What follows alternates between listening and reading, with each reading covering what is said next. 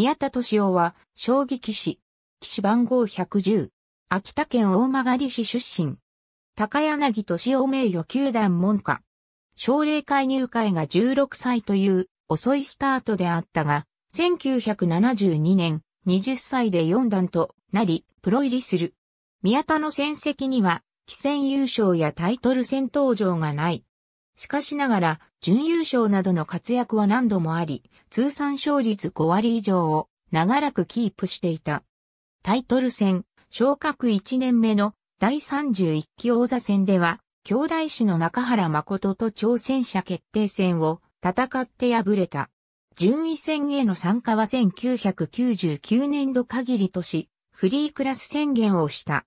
2017年3月31日、フリークラス規定により、同年度の最終対局をもっての引退が確定。3月末時点で、第30期竜王戦、6組昇級者、決定戦のみに出場権を残していたが、5月16日の対局で、青野照一に敗れ引退が決定した。引退後は、世田谷区三軒茶屋の将棋教室や連盟道場などで普及活動に努めている。現役時代から弟子を複数取り、斎藤明日と本田圭、伊藤匠がプロ棋士になっている。喫水の飛車党であり、相美者の先手番では櫓を目指し、相美者の後手つがいでは、相手からの誘導に追随して、櫓、角代わり、相、係を指す。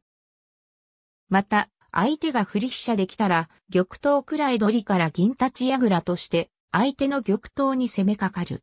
こういった棋風は、デビュー以来一貫している。商談規定は、将棋の段級を参照。